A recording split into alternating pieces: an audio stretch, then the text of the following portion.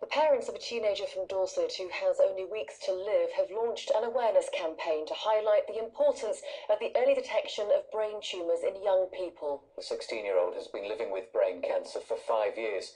It took six weeks to diagnose, but his parents feel it could have been spotted earlier. Matthew Hill reports. It's hard to believe this energetic 16 year old is facing the end of his life. I mean, if you get a bee buzzing around you, just just don't panic. Otherwise, they're more likely to sting you. David's been living with brain cancer for five years. I've relapsed several times, which is fun. Um, and now I'm kind of stuffed. But yeah, hey, we can't win them all. Before I was diagnosed, I was feeling really weird, sicky. I would get really bad headaches. I thought it was just maybe I was coming down with something or ill, or it was normal. Um, because it was it came on so slow that it kind of almost became kind of a normal thing. It took six weeks to diagnose, but his parents feel it could have been spotted earlier. It was only a four-day delay for us, but he, a medulloblastoma, the children are usually, the, from the first symptoms, they are dead after six weeks. We were in our sixth week, we'd have lost him that week, so that four-day delay could have been fatal. 500 children are diagnosed with brain tumours each year in the UK. It can take up to three months to diagnose them.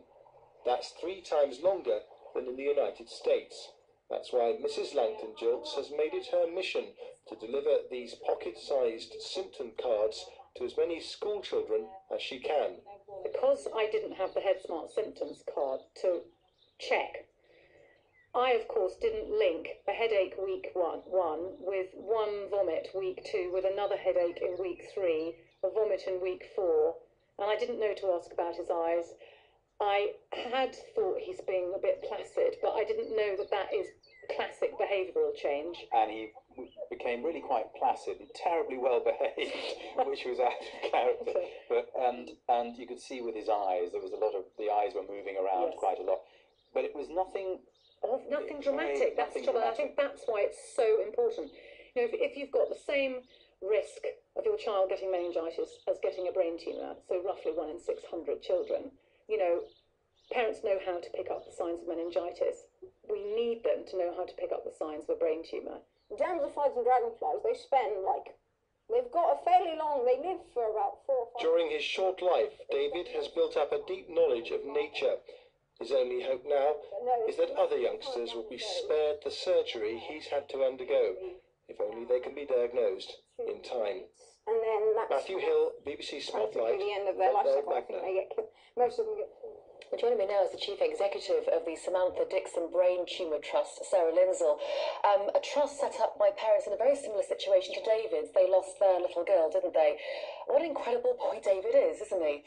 Um, but, but knowledge is key to this, isn't it? What are the symptoms that parents and carers should look out for? And when do you take those seriously? How do you know?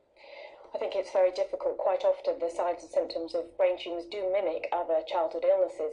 But I think as a parent, you know when something's wrong, um, and it's about persistence. So, as, as Sacha tells us, um, persistent headaches, persistent vomiting, um, persistent uh, changes in eye movement, sometimes a, a head tilt, and actually the signs and symptoms do change as with age groups in children. Uh, our website can reassure parents to as to what they should be looking for. That card you're holding there is for parents and carers, isn't it? That's on headsmart.org.uk, and you can find all the information on there. As a right. charity, along with other experts, you've brought diagnosis times down from just over nine weeks to seven and a half weeks. As you say, as a charity, it needs to be brought down under five weeks to really make a difference to people. How do you do that? Well, it's actually down to people like Sacha uh, and like many of your viewers to, tonight who are up and down the country taking Head Smart cards into every GP surgery, every primary school, every nursery, every family centre, every Sure Start centre, so that every family has a symptoms card in their medicine cabinet next to the Calpol. That's how we'll save lives. And for those who have a diagnosis, you also offer a lot of support, don't Yes. you? As a charity, the Samantha Dickson Brain Tumour Trust has been going for about 15 years now, and we offer support and information for families. Indeed, we have an information day in Plymouth um, on the 15th of June, so please do contact us if you'd like more information about that. As a charity, you're on Twitter, you're on Facebook. You can get through to your charity if anyone's concerned uh, through the BBC Dorset website as well. We've got all your information on there. Um, well, thank you very much indeed for coming in, Sarah. Really appreciate it. Thank you. Thank you very much.